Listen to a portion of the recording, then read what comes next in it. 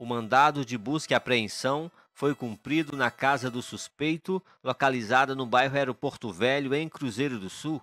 Segundo o delegado Everton Carvalho, o investigado, além de ser membro de uma organização criminosa, vinha realizando o tráfico de drogas na região. É apontado pela investigação como participação de organização criminosa. O indivíduo ele verbalizou que tinha essa participação para a gente. Agora, a investigação continua no sentido de afunilar qual a real participação dele dentro da organização criminosa, qual o papel dele na organização criminosa. Segundo informações da polícia, o apenado passou para o regime semiaberto há cerca de três meses e já voltou a delinquir. Estava comandando uma boca de fumo no bairro Aeroporto Velho. Favor desse indivíduo que já tinha algumas passagens pela polícia, né? Já já era monitorado do sistema prisional, tinha passagem por homicídio, por tráfico, e ainda insistia né, a cometer o delito de tráfico e fazia ali da, da sua residência uma boca de fumo, fornecendo ali é, entorpecente para as pessoas que moram em torno do, do bairro ali do Aeroporto Velho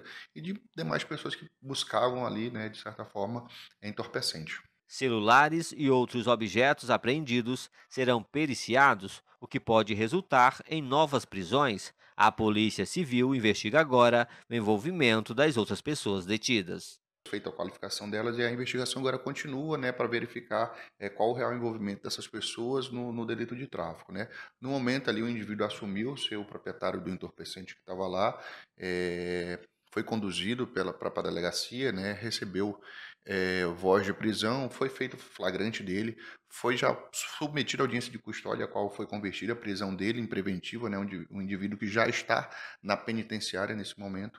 Então, assim, em relação às demais pessoas, vai seguir se tiver algum envolvimento comprovado ali pelas anotações, pelo, pela extração do aparelho celular, né, que o aparelho celular foi, foi apreendido, a investigação continua e aí novas prisões poderão advir.